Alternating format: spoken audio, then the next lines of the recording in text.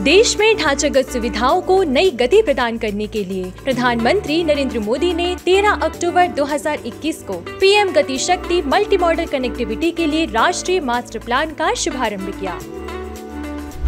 इस योजना के अंतर्गत 2014 से सड़क परिवहन और राजमार्गों के लिए बजट आवंटन में 500 प्रतिशत की वृद्धि की गई है।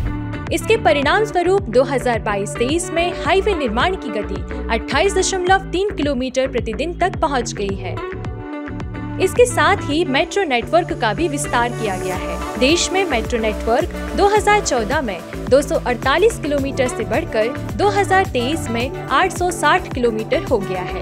योजना की शुरुआत के बाद से सितंबर 2023 तक 34 वंदे भारत एक्सप्रेस ट्रेनों का सफल संचालन किया जा रहा है। इसके अलावा विभिन्न लंबित परियोजनाएँ भी पूरी हुई है, जिनमें शामिल है सरयू नहर राष्ट्रीय परियोजना उत्तर प्रदेश, कोसी रेल महासेतु बिहार कोल्लम बाईपास परियोजना, केरल।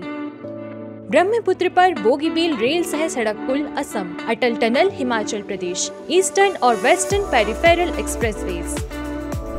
कुल मिलाकर देखा जाए तो यह योजना भारत के भविष्य और आने वाली पीढ़ियों के लिए एक ठोस बुनियादी ढांचे का निर्माण कर अमृत काल में विकसित भारत की महत्वाकांक्षा को आकार दे रही है।